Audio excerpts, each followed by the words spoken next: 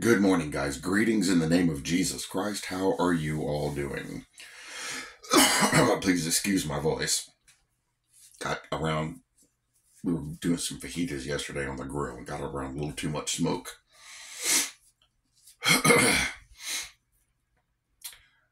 um, this morning we're going to be reading out of Genesis 41 4. The ill favored and lean fleshed kine did eat up the seven well favored and fat kine. And this is one of the reasons why um, I read the New King James primarily, because a lot of those vor- words that we don't know what they they actually are. Um, are put in uh, terms that we use today, so it's easier to understand what they're talking about. People hear the word kine, they have no idea what it is. It's just, it's cows, it's bovine. So in the New King James, verse 4 says, And the ugly and gaunt cows ate up the seven fine looking and fat cows. So Pharaoh awoke. He's having a dream. Let's go up here. Joseph interprets Pharaoh's dream. Then it came to pass, verse 1, at the end of two full years, that Pharaoh had a dream, and behold, he stood by the river. Suddenly there came up out of the river seven cows, fine looking and fat, and they fed in the meadow. Then behold, seven other cows came up after them out of the river, ugly and gaunt, and stood by the other cows on the bank of the river. And the ugly and gaunt cows ate up the seven fine looking and fat cows. So Pharaoh awoke.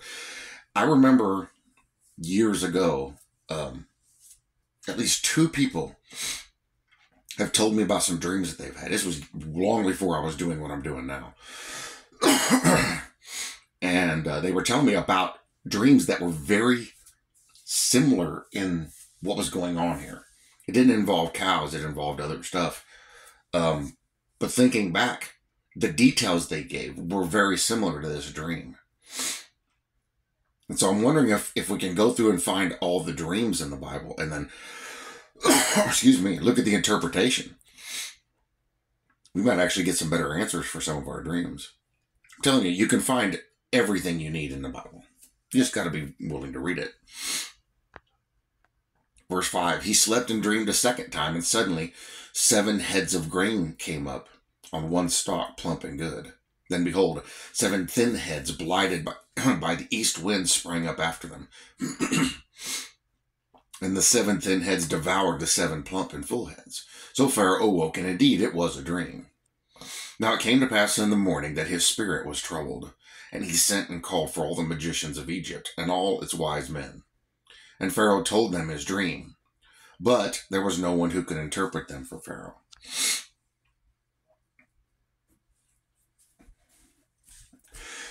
there we go.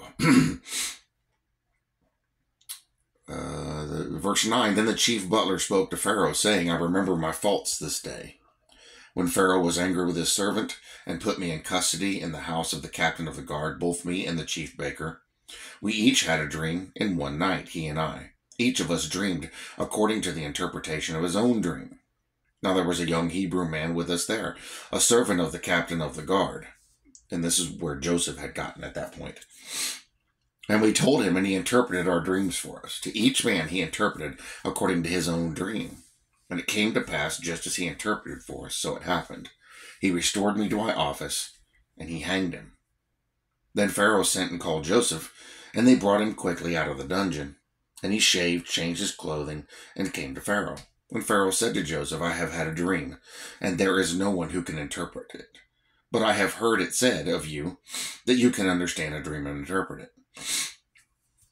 So Joseph answered Pharaoh, saying, It is not in me God will give Pharaoh an answer of peace. Then Pharaoh said to Joseph, Behold, in my dream I stood on the bank of the river. Suddenly seven cows came up out of the river, fine looking and fat, and they fed in the meadow. Then behold, seven other cows came up after them, poor and very ugly and gaunt. Such ugliness as I have never seen in the land of Egypt. These are some pretty ugly cows. And the gaunt and ugly cows ate up the first seven, uh, the fat cows. When they had eaten them up, no one would have known that they had eaten them, for they were just as ugly as in the beginning. So I awoke. Also I saw in a dream, and suddenly seven heads came up on one stalk, full and good. Then behold, seven heads withered thin and blighted, and the east wind sprang up after them, and the thin heads devoured the seven good heads. So I told this to the magicians, but there was no one who could explain it to me. The reason why I'm reading further because this is actually kind of important. Then Joseph said to Pharaoh, verse 25, The dreams of Pharaoh are one. God has shown Pharaoh what he is about to do. The seven good cows are seven years, and the seven good heads are seven years. The dreams are one. And the seven thin and ugly cows which came up after them are seven years, and the seven empty heads blighted by the east wind are seven years of famine. This is the thing which I have spoken to Pharaoh. God has shown Pharaoh what he is about to do. Indeed, seven years of great plenty will come throughout all the land of Egypt. But after them, seven years of famine will arise, and all the plenty will be forgotten in the land of Egypt, and the famine will deplete the land. So the plenty will not be known in the land because of the famine following, for it will be very severe. And the dream was repeated to Pharaoh twice because the thing is established by God, and God will shortly bring it to pass. Notice the key thing here.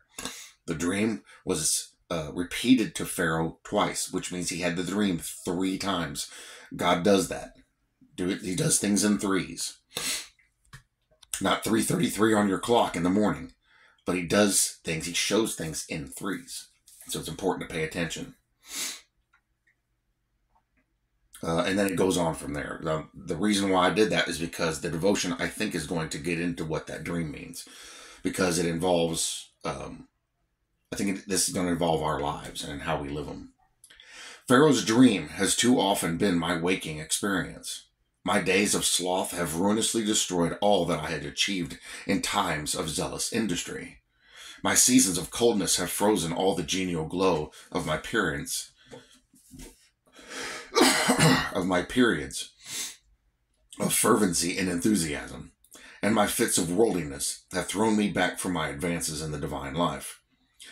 I had need to beware of lean prayers, lean praises, lean duties, and lean experiences, for these will eat up the fat of my comfort and peace. Basically, if you don't do anything involving what you've been given to do, there's going to be a problem.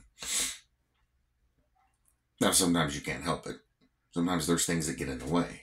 But the whole idea behind this is is that we don't want to make we want to make sure that any any issues that we have, any any bad time aren't a direct result of our actions. Because we're the only ones to blame. And so what we want to make sure we do is we're always doing what we should be doing. And what is that? Get up, take care of the house when it needs it. Get up, take care of your job when it needs it. Get up, do all the duties, the things you have to do get up and live your life. Just because the rapture is about to happen, we don't give up on those things. We get up, we go do what we need to do. Hopefully, if my sinuses clear up today, I got to go out and take the front tires off my zero turn mower because they're not they're not keeping holding air. I found a great tire sealer that I'm trying out. So I've got to fix them so they'll hold air because I'm not able to use the mower. Plus the battery went bad, so I got to put a battery in. I got to do these things. I am in horrible pain. My left shoulder is killing me. I got a muscle locked up in my neck on the same side. I got an old PT injury from the army in my right lower back that's been giving me fits for months now. Uh, but I still have to go do these things. It still have to happen. because if I neglect them, what happens? The grass can't get mowed and the mower just sits there being wasted doing nothing. If I neglect prayer, for never so short a time. I lose all the spirituality to which I had attained. We don't want to withdraw from the things that are godly. We don't want to, want to withdraw from the spiritual things, just like we don't want to withdraw from the physical things we have to do, because they're important. If I need to be doing prayer, we do morning and evening devotion, morning and evening sacrifice, because we should be. But if I neglect those things, what happens? if I'm so messed up, and there's been multiple times throughout the last four and a half years that I have, that I literally have not been able to put out a video. I, I, I know it. It bugs me. I hate it. But there are times where there's circumstances beyond my control. If I have the ability to do it, and I mean, most people with what I'm dealing with right now would not. Hey guys, I'm not feeling good. If I'm able to do it, I have to do it.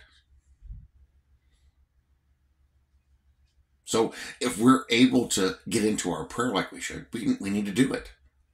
Because neglecting it, you know, and it's funny because If everything's going good, you feel good, you got peace, you got joy, everything's great, and then you so you kind of pull back. Uh, I'm gonna rest now. I'm gonna lay back on.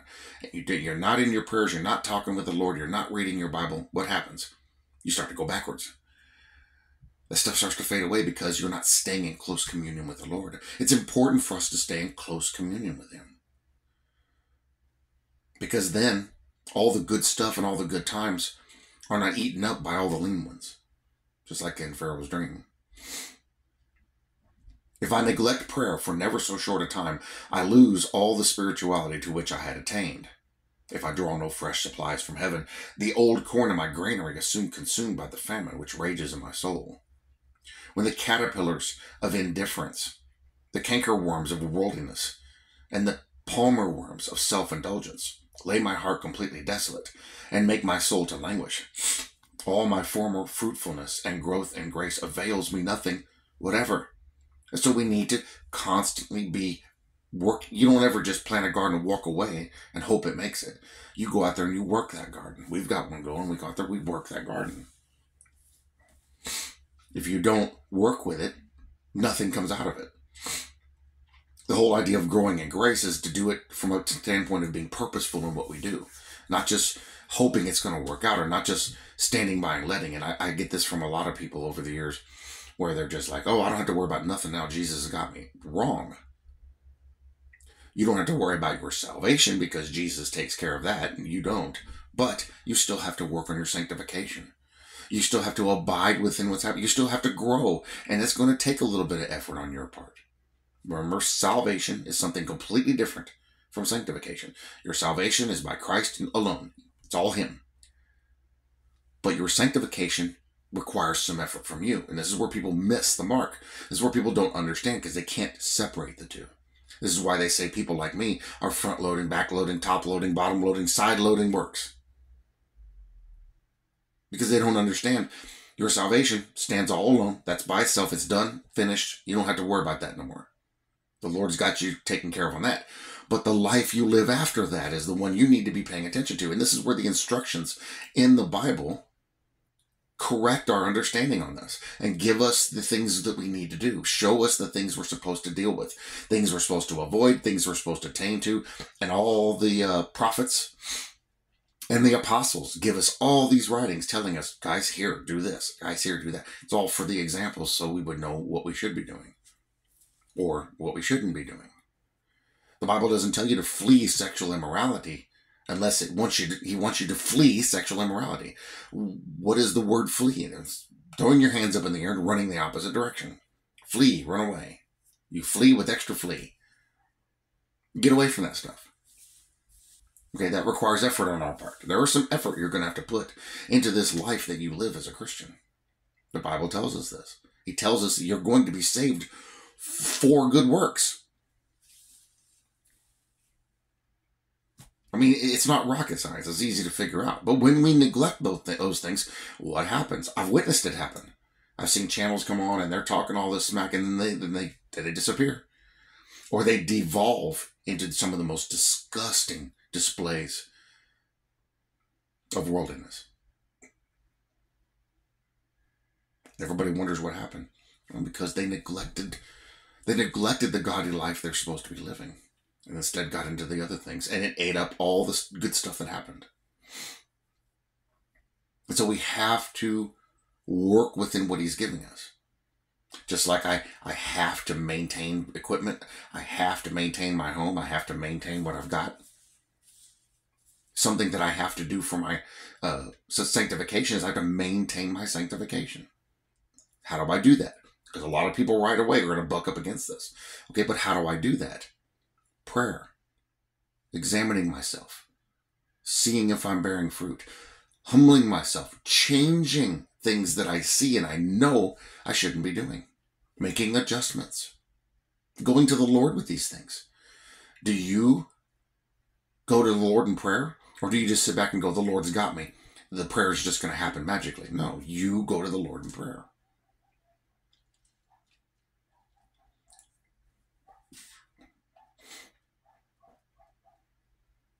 I mean, it seems like they, they think that they're living off the government when it comes to this stuff. Oh, the government does all that stuff for me. I get my food stamps and everything. I don't have to work. No. That's not what you that's not what we're told to do in the Bible. See, they don't understand these scriptures. They don't want to have to realize that they have some kind of responsibility that they have to make. It, it takes effort to walk in the truth. You don't just magically do it after you get born again. The Lord gives you a great deal of help with this.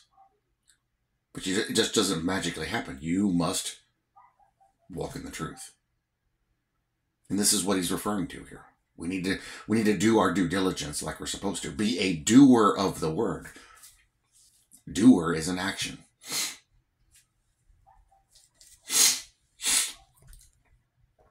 Let's see, where am I at? Uh, here we go. How anxious should I be to have no lean flesh days, no ill favored hours? If every day I journey toward the goal of my desires, I should soon reach it. But backsliding leaves me still far off from the prize of my high calling, and robs me of the advances which I had so laboriously made. If you strived for a long time and suddenly stop striving, what happens? You're going to go backwards. Well, the Lord won't let you go to the point that you can be lost. I mean, at that point, he'll probably just take you home and say, okay, well, you know, I'm not going to let you go that far. But why would we do that to ourselves when we know the truth? Get up and move. If you're if you're sitting down and a truck is coming at you, you don't sit there and hope the truck's going to veer off. Oh, it's okay. The Lord's got this. You know, you're going to tempt the Lord. He's going to let that truck run you right over. You're going to stand up there and go, "Up, oh, Lord, what happened? You're the one that sat in front of the truck and didn't move when you saw it coming. You think I'm just going to carry you around in a lawn chair? No. Get up and do something." The only way in which all my days can be as the fat kine is to feed them in the right meadow, to spend them with the Lord, in His service, in His company, in His fear, and in His way. Notice it's all about Him. Why should not every year be richer than the past in love, in usefulness, and joy? You want to be useful to the Lord? Get up and do something.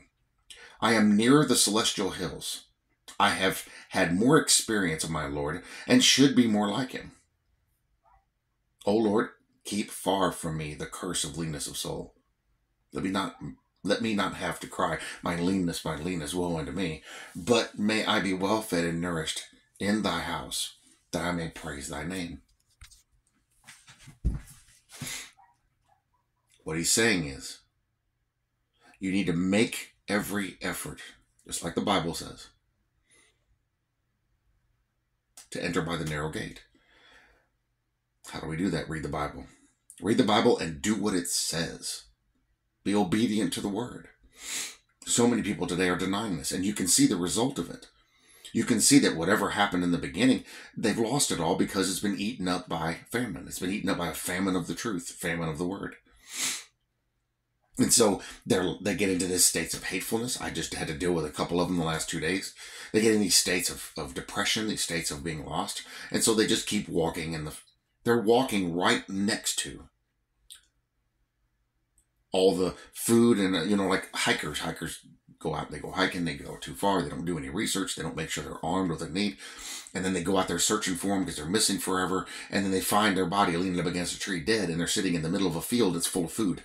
Like almost everything on the growing on the ground is edible. You know, it's like you didn't, you died for lack when you were standing right next to fullness.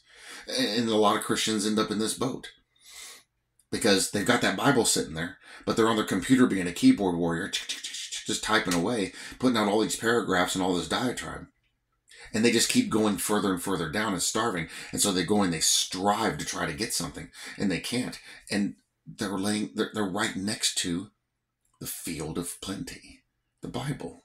If they would get back into the Bible, they would realize what they're doing and stop it and change. Like the post I put up on the community tab last night. Hope you guys saw that. If you didn't, go see it. It's clear. This is how we grow by learning what the Bible says. This is how we grow is by doing what He told us to do, living the example He set for us to live. I shared that verse in there. Jesus Himself said it. I've set you the example to live by. If we do that, spiritually, we will always have plenty. If we don't do that, spiritually, we'll be bankrupt. Jesus said, I, I tell you to buy from me the choice gold so that you'll be rich spiritually, spiritual gold. How do we do that? Right here. Here in this word. But just like when we neglect the things of daily life and we start to lose it all and we start to become broke and end up on the streets like so many people have because they just decided not to do it anymore. The same thing happens when we do it spiritually. So what we what do we have to do? In in the world, we have to work, we have to do things, we have to provide for ourselves. Spiritually, we must do the same thing. We must go and do something. What is that doing? Do the word. Simple. The Bible says be a doer of the word. Do the word. If it tells you do this, do that. If it tells you don't do this, don't do that. Simple. Because if we don't, we only have us to blame. The Lord couldn't have made it any easier. He gave us an entire book, access to all the world's knowledge. You can literally sit down and in an hour come up with all the evidence you need to prove anything you need to prove. And that's doing detailed research. It's that easy to find it, it's that simple. And we can walk in truth, knowing exactly what He wants us to do if we would but do the work. The problem is, people don't want to do the work. It's too much effort to open that cover. It's too much effort to look up and see what those scriptures say, and it's too much effort to put them into practice. And what a terrible state we're in as a church uh, that this is what we think is the right way to do things. That doesn't make sense. But we see the evidence of it. Look how nasty they are to each other. Look how hateful people are to people are to each other. And like the post last night, it says very clearly: if you say you love the brethren and then yet do all these terrible things, you don't love the brethren. You're a liar, like John says. But those things that you're doing to the brethren, you're doing to Christ because we are all made in the image of God. So what you do to another person, believer or unbeliever, you do to him. You do to Christ. More and more, I'm starting to understand that sheep and goats judgment and what it's talking about. It's very clear. If I'm kind to another person in any way, I'm being kind to Christ. I'm glorifying him. If I'm unkind to somebody in any way, I'm being unkind to Christ. And so this changes how I'm going to do things and how I'm going to do what this word says because I need to do it from a place of integrity, humility, and a place from knowledge of the truth, of knowing that I need to act a certain way towards the people around me. Not not letting them get away with stuff, but holding them accountable. Not just patting them on the back and telling them everything's okay, but telling them the truth, even if it bothers them or hurts their feelings. Because if I say I have love for my fellow man, I need to show it.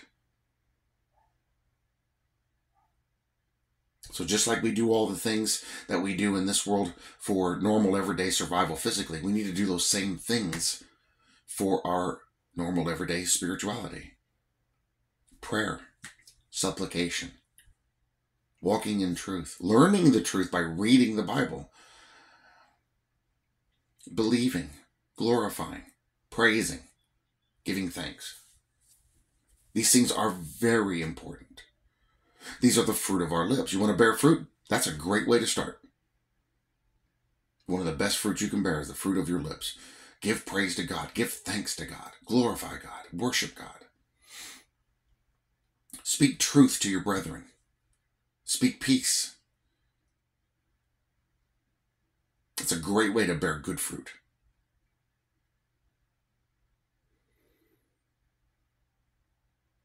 But so many today can't even bring themselves to do that. Instead, the first comment I got on that community post last night was somebody literally proving everything I said in that post. And the first thing they did, instead of looking at it, reading at it, and seeing if they fit in that or that, that had anything to do with them, and it has everything to do with every one of us, they immediately accused me. You literally prove me right. You literally prove the scripture is true. See, that's a person that's warped in sinning. That's a person we're not supposed to deal with. First and second admonition have nothing to do with them. They're warped in their sinning. The Lord will deal with them.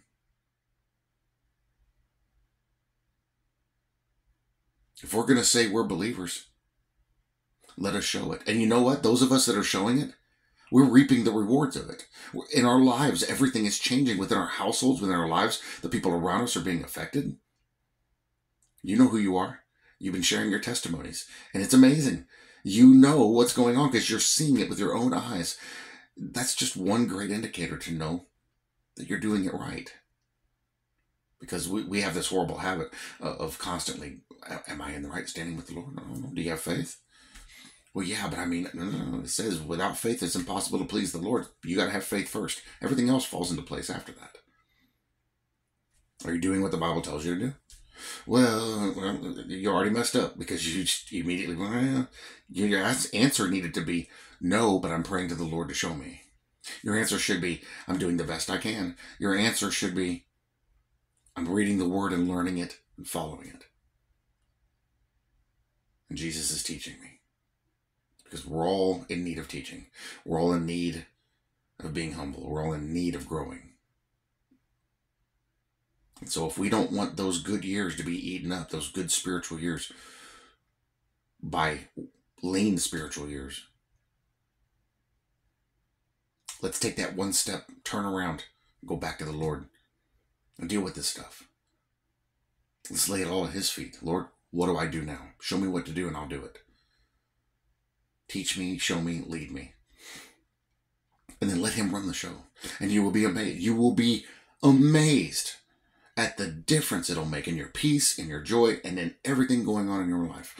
It literally will completely rearrange things around you.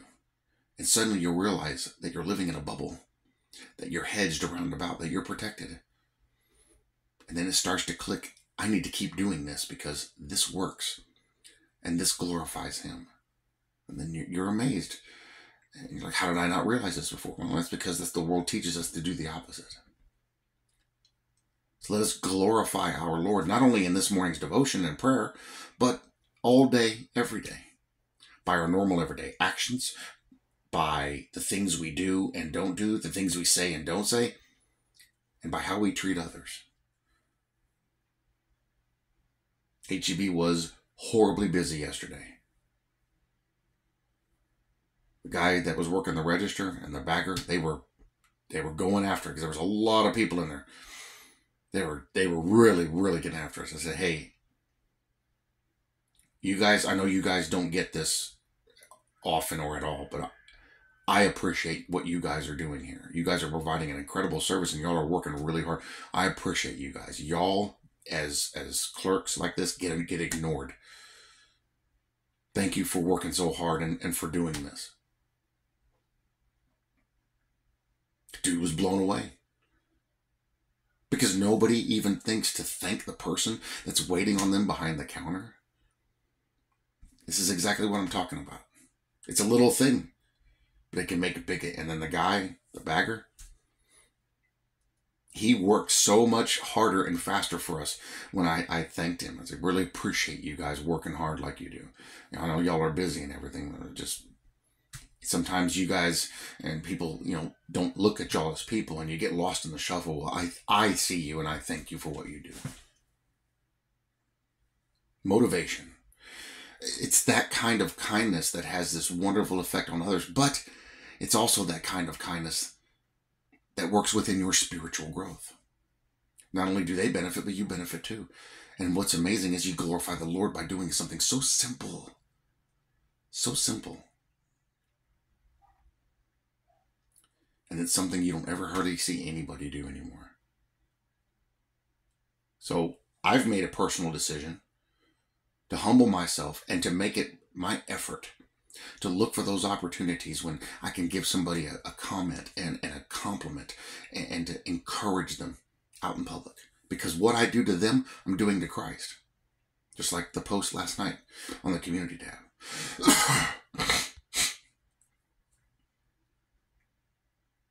that's that's me. I'm going to be a doer of the word. So everybody has to make that own personal decision in their own lives, in their own walk with the Lord. So I encourage you to consider. Consider what I said in that post last night and consider what we're saying here, what we're talking about here. because you cannot believe the amount of peace that will wash over you when you take that step to do that to somebody else. Because then you realize what you just did. And it becomes addicting. Being kind to somebody that you don't know becomes addicting. Not when you're syrupy sweet about it, but when you're just being genuine, being truthful, being real with somebody. Hey, I'm not just saying this to stroke your ego, but I really do appreciate what you're doing because you guys don't get you don't you guys don't get recognized. You guys aren't seen. You're just somebody here punching buttons to most people. You're not that to me. You're a hardworking individual. I've worked this kind of job. I know what this entails. And I appreciate you and what you do.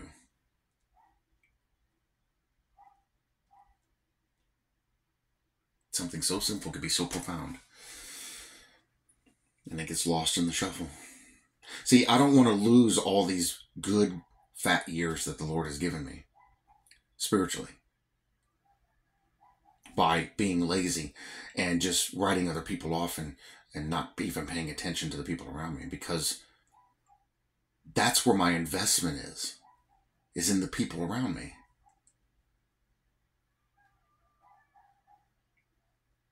Is it going to work out perfectly? Nope. But it's not meant to. But I can tell you this from personal experience. You acknowledging even your husband or your wife, even your kids, you acknowledging them shows them you love and care for them. You taking a moment to let them know you see them and you're paying attention. With all the phones and computers, people ignore everything. People just completely, I mean, I've gone to friends' houses and everybody's sitting around texting each other on the couch, sitting in the same room. I'm like, are y'all for real? Talk to each other. What's the matter with you? I've, I left. I'm like, I ain't gonna sit here and do this. Y'all crazy. Even put it on TV like it's normal. It's not.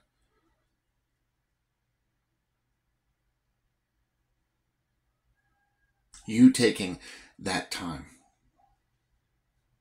Husbands, I can tell you if your wife is doing a bunch of stuff, if your wife is busy, there's a lot going on, and you haven't done much, even if you're hurting, you going in and cleaning up the kitchen will put go a long way in showing your wife you appreciate what she does because you're willing to go clean up after her. Now, I'm, not saying this just, just to kiss her posterior. I'm saying this because you showing her you appreciate her. You do that by, by that action. Your children. Do you need to get anything from the store? Even if you're adult children, hey, I'm going to the store. Do you need to go? Is there anything that you that you need? Like, you know what? Let's go wander around the stores or something like that, and just talk with them and interact with them, whether they're children or adults. Eh, either way, you would be amazed at how that will build those spiritual connections between people. And in doing so, you glorify the Lord because you're showing somebody kindness and love. And it's been there right in front of us this whole time. How have we missed it? I'm trying to show everybody because I'm personally experiencing this. And I can tell you, it, to great effect, it is become a major positive to the point that I, I crave it because I enjoy the, the response that I get from it. And I know that what I'm doing is correct because the Bible tells us to do these things. So, guys, just consider what I say and go prove it with Scripture. You don't have to believe me, prove it with Scripture. Don't lose all these wonderful fat years that the Lord has given us spiritually by being lazy and getting into these lean years spiritually. And you wonder why you're struggling spiritually? Maybe that's the reason. Try it, see what you think. I, I, look, it works great for me. I'm positive it'll work for everybody else. Try it, see what you think. You might just might be amazed. The little bit of effort you put out will bring great rewards. And the Bible even talks about these things being attributed to certain crowns. It's a win win, guys. It's a win win. Father, we come before you this morning in the name of Jesus Christ to give you praise, honor, and glory, and to lift you up and to sing praises unto your holy name. Father, thank you for this holy word and thank you for this devotion. Lord, I am amazed at how such simple things can have such a profound effect on not even our own well being and spirituality, but on those around us. And we take it for granted. The people that do things for us, the people in our household, the, the things that go on, we take all of it for granted, not realizing that just a small bit of effort on our part can change the whole atmosphere in the corner of a grocery store. Uh, kindness by looking at somebody and smiling can change the attitude of several people. Doing something for someone unprompted can have great effect on letting them know you care about them. Taking your word and putting it into practice in our everyday lives to whatever degree we can find to do glorifies you. And Lord, like I put on that post last night, what we do to others, we're doing to you. You made that clear. So why would we be so nasty to other people? And I see Christians do this, and there's no reason for that. But why would we do that? Why would we risk losing the, the fat years, like in Pharaoh's dream? Would we risk losing the, the good years of spiritual growth to laziness to these years of of leanness, to these years of, of hatefulness, of walking away spiritually, not getting into the Word. Lord, you've made this message perfectly clear since day one of doing this. When I started this in January of 2019, day one, tell them, read, read, read the Bible. And Lord, what I found is that when I read your Bible, these things become natural. I start to learn that these are the things I should be doing. And I start to see the result of them. And I start to realize this is how we walk the narrow path. This is how we pass through the narrow gate is by doing your word in this life. If we want to be able to pay our bills and to feed our families and keep the house cool or hot and keep the cars running and keep everything going, we must do work of some kind. If we want to be spiritually fed, spiritually full, spiritually true, if we want to be spiritually right, we need to be doing the work of reading the Word and then putting it into practice in our daily lives. There's a direct correlation between these. The fat years are the years we're spiritual, the years we're all in. The lean years are the years we step away. You don't step away from us, we step away from you. Why do we do that to ourselves? But the world blinds us to what we're doing and teaches us to look to ourselves for self help, quote unquote. Uh, no, it's not about self, it's about you. So, Lord, I want to bring it back to you. I want to go back to what your word says. I want to get everybody and lead them this way, push them this way, and point them the right direction. Back to your word where we know the spiritual life is, where we know the spiritual food is. And then take that word, take what we've been fed with, and go share it with others thereby glorifying you, thereby bringing honor to your name. And we know that these also lead to reward in heaven because your Bible tells us they do. So if we know the truth, why would we do the opposite of that? And yet that's what we see a lot of today. My post yesterday, Lord, you you inspired that. I, I looked up the verses, I put it in there, and the first person to comment was somebody doing exactly the opposite of what they should have been doing and literally by their one single sentence proved what everything that post said. Proved exactly the point I was trying to make. Amazing. What's wrong with people? Lord, the world is the biggest problem, but we're also the problem because we're lazy. We don't want to do those things. We don't want to have to put out any effort. And Lord, my goal is, and I, I pray that this is happening your way, is to get everybody to start to realize the benefits of doing it your way. You told us, you gave us the book. You've done everything that you can do and need to do, uh, short of taking us and grabbing us by the head and spinning us around and pushing us the right direction. And I think sometimes you do that too. We've got to look at this and go, I'm going to do this. Just like we have to make effort to make money in the world, we got to make effort to walk a right way. But Father, we need you to teach us. We need you to correct us, and we need you to turn us around because we're dense, we're slow, and we're hard headed, stiff necked.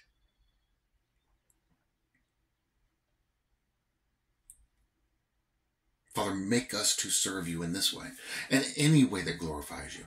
Make us to read this word and, and it get into our heart And so that when we're out in public and we don't have the Bible right in front of us, it's a natural thing for us to do things your way. It's a natural thing for us to be those kind of people. And so we come out of those lean years and get into these fat years, these years of plenty, but then realize we need to stay there. We need to keep doing what we're doing. Keep doing what you told us to do. Keep doing it your way because it is to your glory and it is to our benefit to do it that way. And so, Father, I pray this message reaches every heart that hears it. And I pray that those hearts are able to share it with someone else and it reaches their heart. And on and on and on and create the snowball effect of this wave going out of this wonderful message being shared and people going, you know what? It makes sense. I, I want I want to do that. And they go and they do that. And then they, they see the, the because it's not only looking at the other person and seeing how happy you just made them by some small gesture of kindness, but you feel the rush from the Holy Spirit for that stuff because you realize, oh man, this is what we should be doing. And suddenly we become the light, we become the salt, the light and salt of the earth. And you told us, be light, be salt, because it is your light shining from within us. Amazing. Perfect. Goes right along with exactly what we should be doing. Father, make this to be true because I know it is your word and it's, it's what it says. Make us to do this. But Lord, I pray everybody proves this so that there's no doubt in their mind that I'm just giving them a story or just making this up and giving it to them, but they'll see it in your word and go, okay, there it is. You know what, Lord? I'm going to do this. Not because Mr. Christian is trying to, to prompt me or goad me into it, but because your word says to do it. And I want to glorify you. I want to please you. I want to do things your way because your way works best. Because the spiritual growth, the spiritual, amazing spiritual feeding that comes from that is beyond comparison to anything else. Father, thank you. Thank you that we have this word to go to, but I thank you that we have this platform to share this. And I thank you that now at the end of the age that we have this opportunity to, to correct so many bad actions, correct so many bad ideas, to humble ourselves, but then to change the dynamic of what everybody goes with. I mean, look at society today, it's horrible. France is about to completely collapse. but instead, suddenly to be a guiding light to the world. Guys, this is the truth. This is what we should be. And Lord, there are so many people out there. I'm starting to run into little videos here and there of people out in the streets fighting the good fight, sharing the truth. Lord, I pray your blessing upon them.